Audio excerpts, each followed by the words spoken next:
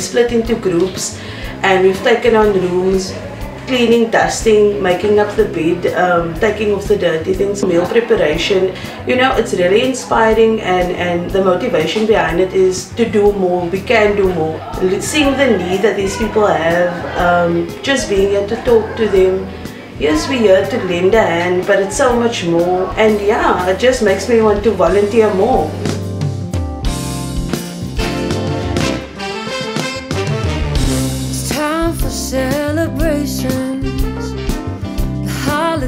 days will come on. Grab another drink, give that guy a cheeky wink. You know it's time to have some fun.